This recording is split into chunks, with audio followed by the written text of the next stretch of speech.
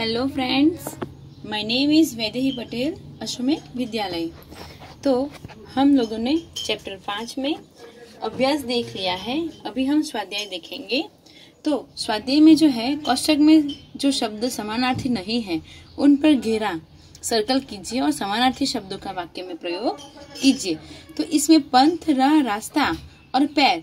तो ये तीन जो है, वो समानार्थी है, लेकिन ये जो है, वो समानार्थी शब्द नहीं है। तो इसके ऊपर मैंने क्या किया है? सर्कल किया है। तो इन तीनों को हमें वाक्य में प्रयोग करना है। है? मैं आपको एक बताती हूँ, बाकी का आपको खुद करना होगा। पंथ। पंथ यानी यह पंथ सरल नहीं है। राह तो मुझे नई राह मिल गई है और रास्ता यानी यह सीधा रास्ता है। आगे का है, तीन, चार में से ये काटा जो है, वो समानार्थी शब्द नहीं है। कुसुम, पुष्प, फूल, ये तीनों समानार्थी शब्द है और तीनों को हमें वाक्य में प्रयोग करना है। अनूठा, अनोखा, निराला, इन तीनों का एक ही मीनिंग होता है, एक ही समानार्थी शब्द है, लेकिन आम आम जो है वो इसमें समानार्थी शब्द नहीं है। तो हमें इन तीनों का वाक्य में प्रयोग करना है। आगे देखते हैं, जन, मनुष्य, मानव एक ही समानार्थी शब्द है, स्त्री, वो समानार्थी शब्द नहीं है। तो हमें इसके ऊपर घेरा करना है और तीनों का वाक्य में प्रयोग करना है। आगे देखते हैं, भाषा सज्जता प्रियंका मीना आज तो चुपचाप क्यों बैठी है? मंदिर नहीं जाना? मीना कहती है नहीं मेरा मन नहीं लगता। प्रियंका अरे हाँ आजकल तुम बहुत खेल रही आ, खेल रही हो ना? मीना मैं क्रिकेट बनना आ, क्रिकेटर बनना चाहती हूँ पर मुझे खेलना रास नहीं आया। प्रियंका क्यों? मीना कल मैं मोहल्ले में खेल रही थी। तब गेंद ने सीमा और मौसी के घर की खिड़की का कांच तोड़ दिया। उन्होंने माँ से शिकायत कर दी। प्रियंका कहती है, ओह, अब समझी तेरी उदासी का राज। खेलते समय दूसरों का भी ख्याल रखना चाहिए। मीना, आपकी बात बिल्कुल सच्ची है। अब मैं ध्यान रखूँगी। तो इसके, इसमें जो हम लोगों ने जो मैंने जितने भी पढ़ा छोटा सा पैराग्राफ है। तो उपरयुक्त संवाद में से व्यक्तिवाचक संज्ञाएँ छांटकर लिखिए। तो उपरयुक्त संवाद में जो हम लोगों ने संवाद देखा तो व्यक्तिवाचक संज्ञाएँ छांटकर लिखिए।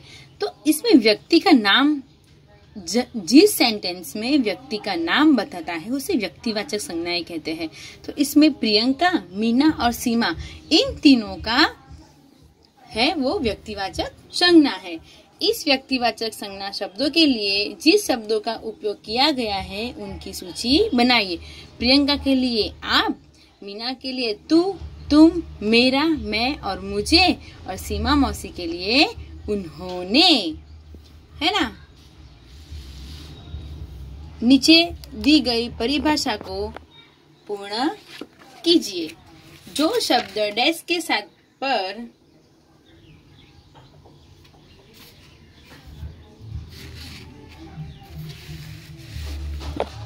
प्रयुक्त होते हैं, उन्हें सर्वनाम कहते हैं।